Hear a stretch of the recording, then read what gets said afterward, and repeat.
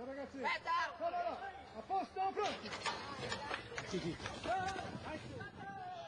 Vediamo come si sviluppa le posizioni, un po' di bagarra, Fiocco di Neve ha accettato la partenza e scende in corda, ma quelli all'esterno sono decisamente più svelti. Tra questi anche Stella Guerriera che ha la giubba viola, poi Aptitude to Storm che galoppa all'interno ed è in leggero vantaggio, sempre su Stella Guerriera, terza corsia ora per Rebeilla che ha superato Carcadè, Fiocco di Neve che rimane in corda, a largo razziatrice che segue le mosse iniziali di Tota Valesca. E così si va davanti alle tribune, schema abbastanza sostanziale davanti alle tribune, non è cambiato niente, o quasi, con Aptitude to Storm in vantaggio su Stella Guerriera, che ha all'esterno Rebeilla, Fiocco di Neve si è sistemata terza in corda, ora quarta.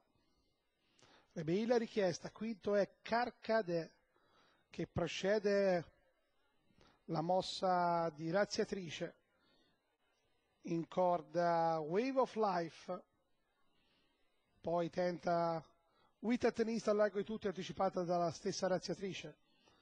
È il momento in cui c'è i due davanti che allungano, Aptitude to Storm, pressata sempre da Stella, si avvicina Wave of Life, poi che cerca il varco e se lo trova può essere della partita, al pari di Wita Trist, tutti piuttosto stanchi, poi cerca il recupero Valdivizze, siamo addirittura ora, Aptitude to Storm, attaccato da Stella, all'interno c'è lo spazio per Wave of Life, Carcadè, Valdivizze, lottano, poi Razziatrice, lottano questi, fin sul palo, Aptitude to Storm e Wave of Life, Wave of Life che vince.